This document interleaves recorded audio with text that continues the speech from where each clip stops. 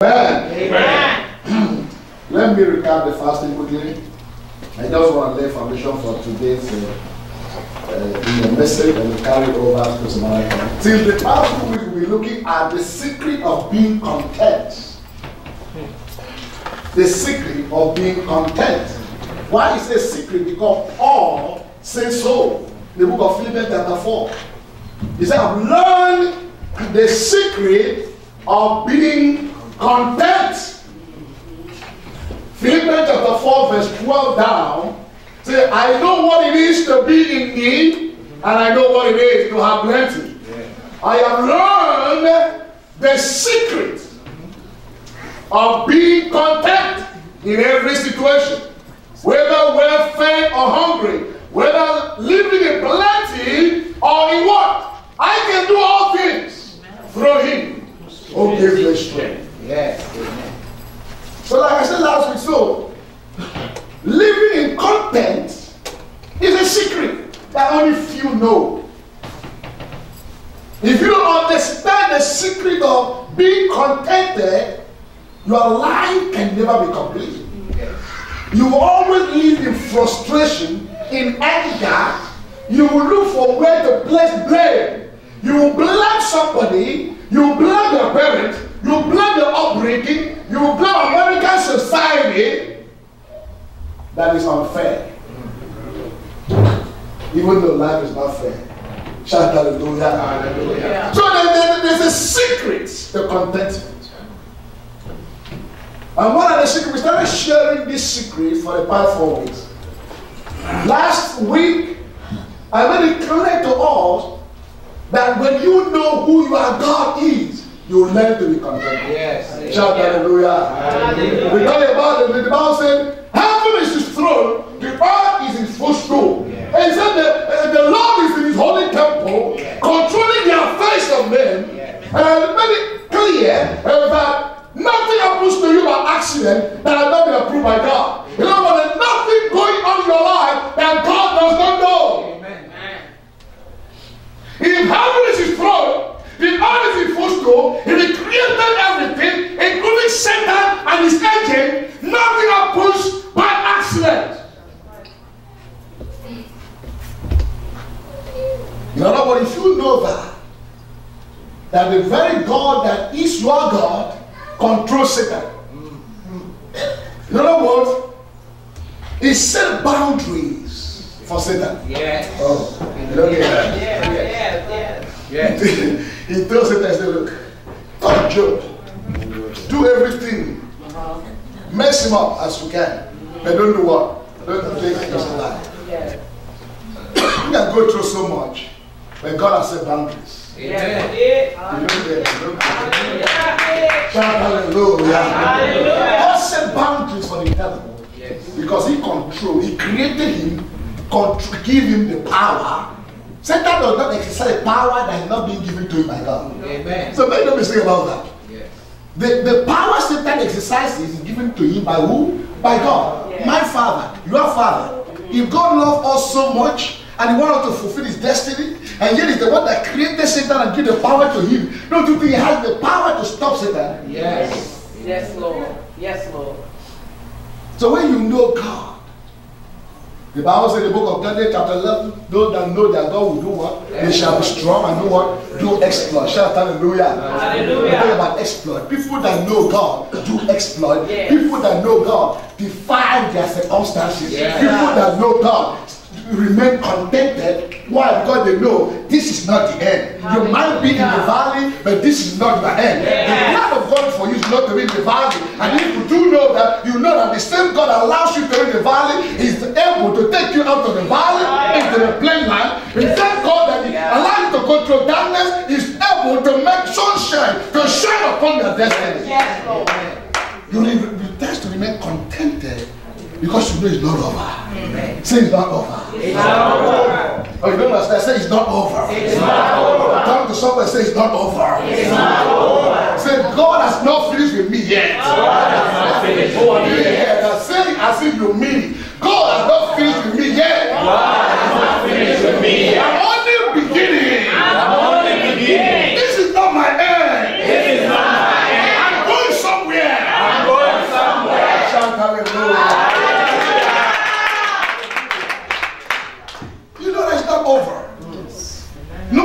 go through. If you know God yeah. and the plan of God for you, mm. you can never say this is the end. Yeah. Satan might tell you this is the end. Yes. Because he wants to create fear in you. Everything around you will tell you it's over. But let me come here to tell you it is not over yet. Until God says it's over. Shout hallelujah. hallelujah. Being content is in knowing your God. Yes. We dealt with that last week. But this one, I want us to quickly look at something. The error in partial disobedience. The error in partial disobedience. Shout hallelujah. Hallelujah. We talk about being content is in obeying God. Another way you can be contented is to obey God in totality. Say totality. Totality.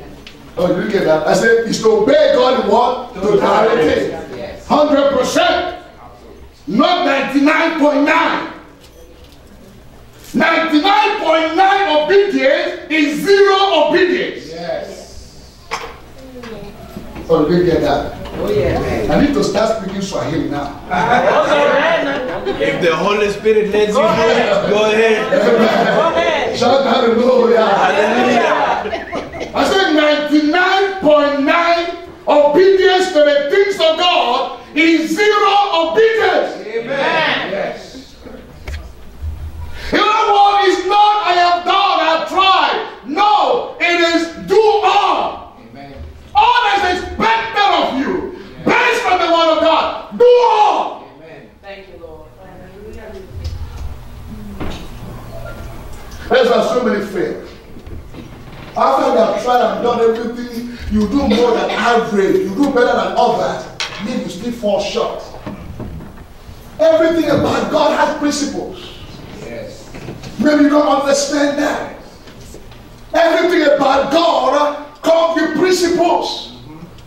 It's either you obey and you get the result, or you disobey or obey partially and still fall short. Amen.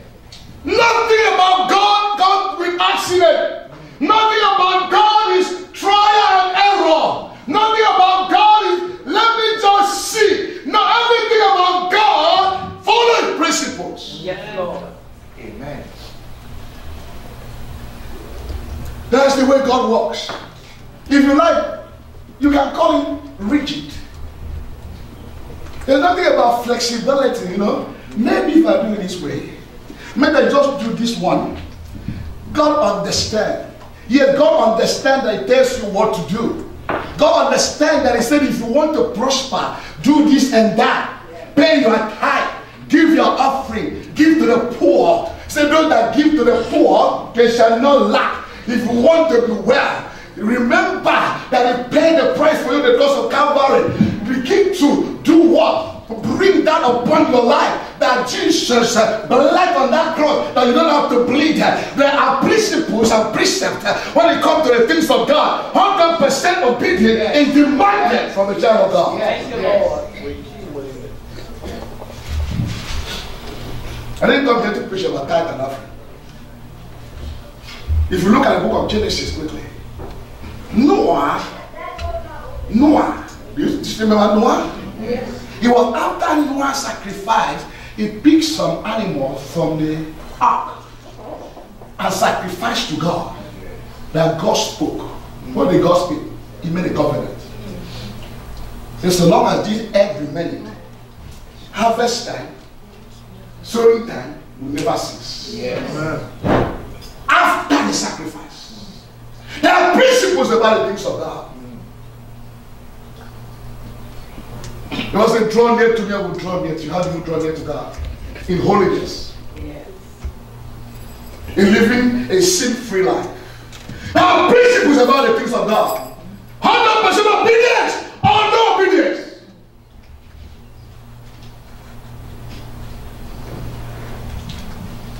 You talk about going to church, we talk about prayer here in the church of God. We know, oh, I'm so tired today. Is that the way you obey God? When I speak as a senior pastor in this church, I represent God. You might not like my face, it doesn't matter. not many people like the face of God anyway. Amen. But what I decree in this church is that if I say fasting, if you don't obey, beg for circumstances that you cannot control, you have disobeyed against God. Yes. I repent right now. That's the truth. Let me not lie to you. Unless circumstances that you cannot control. Maybe you have to be at work or something. Or maybe, God forbid, you are sick and you cannot make it. But any other excuse is disobedience to the word of God. Because I represent God in this church.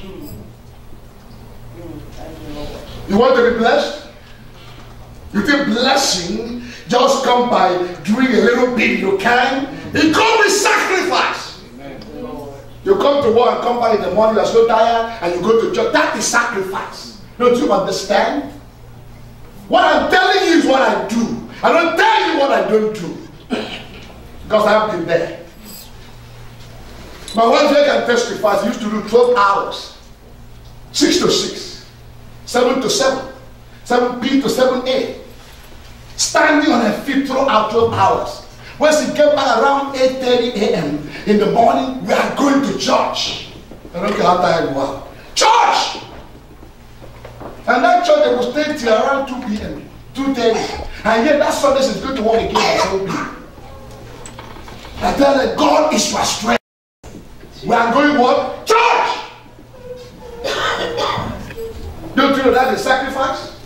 You think it's easy to come back from work, 12 hours, and the next minute you are going to church, and that church will stay till 2 p.m., and by 7 p.m. that day, you still going to church, uh, I mean to work. It is a that pleases God. Jesus. Don't think that the work of God is easy. Who tells you the work of God is easy? That you will not sacrifice something to for God. Look, Noah had to sacrifice before God could make a covenant. I don't want to start talking about sacrifice because the power is sacrifice. I'm talking about 100% obedience. When you know you are God, you do exploit. How do you know God? You have to obey God to know God.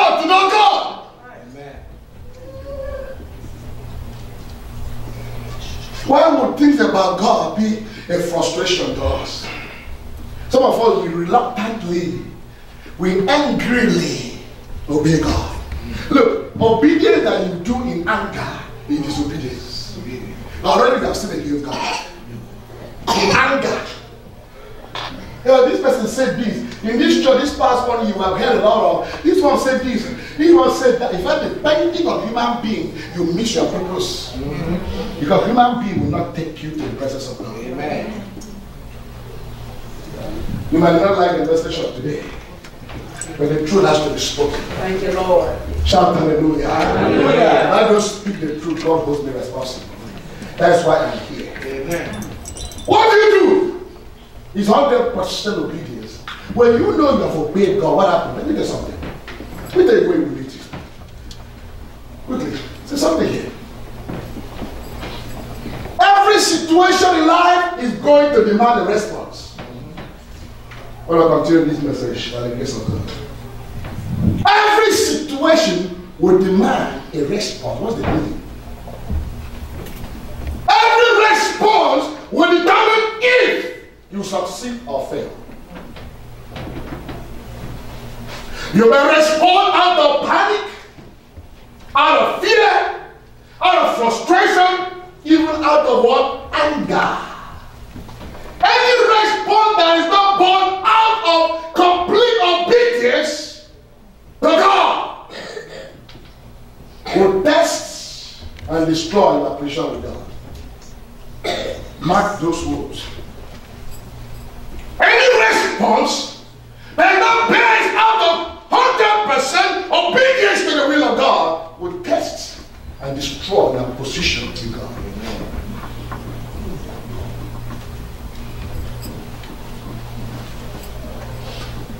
Yes. When we have done all, when we have obeyed God fully. You see, when, when if you know, you see, it is born out of the fact that you, you know that you don't do all. That when a situation comes, you respond in panic, in anger, in frustration. because you know you have not done all that is expected of you. Shout hallelujah. Hallelujah. That was why Adam and Eve ran to hide when God came. If they had done all they were expected to do, would they run and hide? Mm. Because they knew, they didn't do. They ran to hide. Because the word I didn't say, I heard you and I ran. Because you know you disobeyed God. Yes. Shout hallelujah. Hallelujah. But when you are doing it out of 100% obedience, you stand God in the face and say, I have done what you asked me to do. Amen. Where did I go wrong? Amen. When situation comes your way, and they will come. Shout out, hallelujah. Hallelujah. Don't make no mistake about that. Situation will come their way. Yes. As a child of God. Yes. When situations come their way, you remind God of His promises. Father, did you not say, if I do this and this, this is what will happen? I have done it. Yes. Did you not say? When crisis, when the devil brought so much crisis upon my life this year, over my business, the fact that we still eat today with my wife is because I stood God in the face and tell him, did I not do what you asked me to do? Jesus. I told God this church did I not pay my tithes. Did I disobey you? Why was it come and take my business?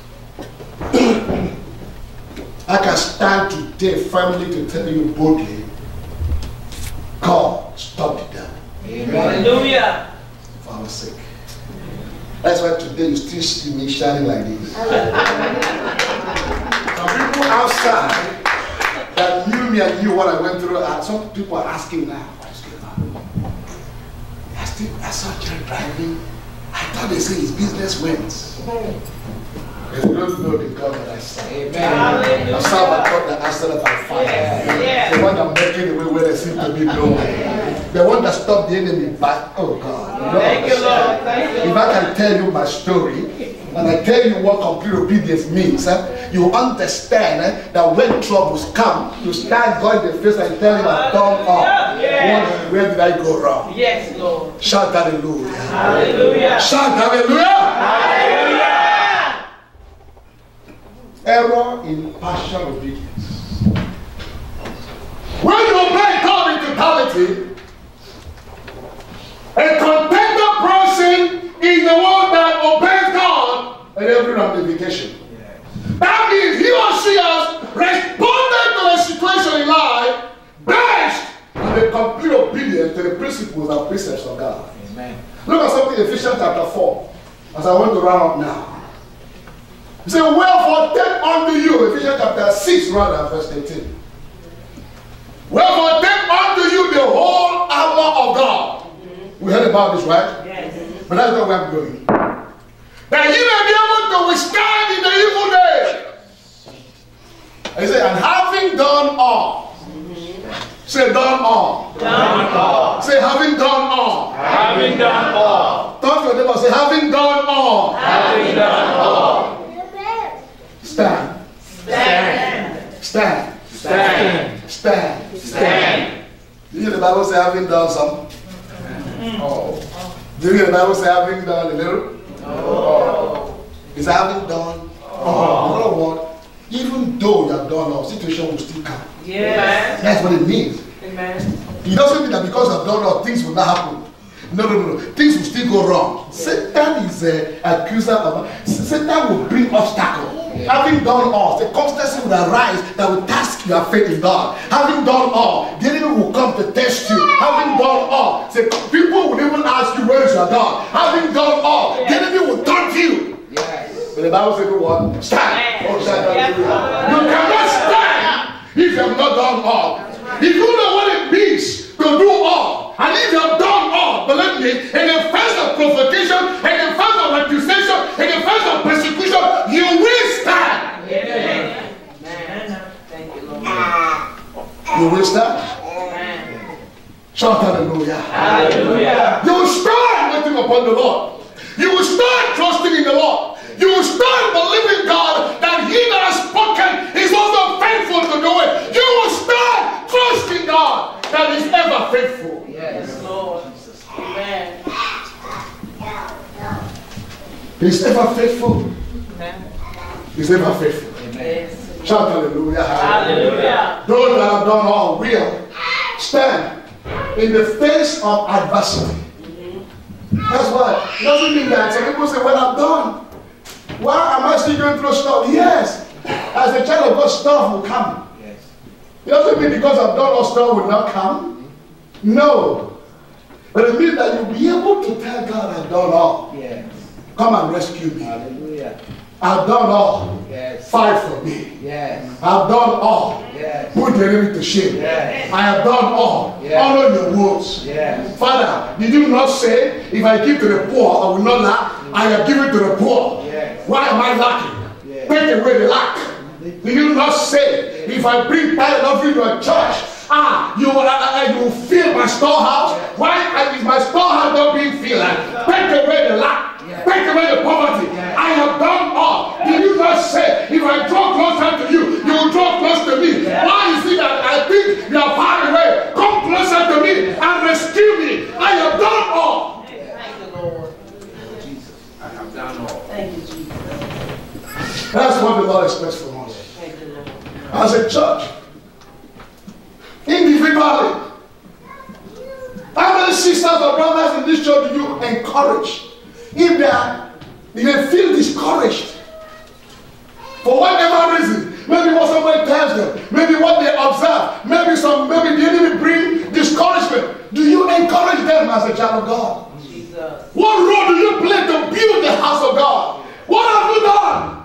How many souls have you preached to, to bring to the house of God?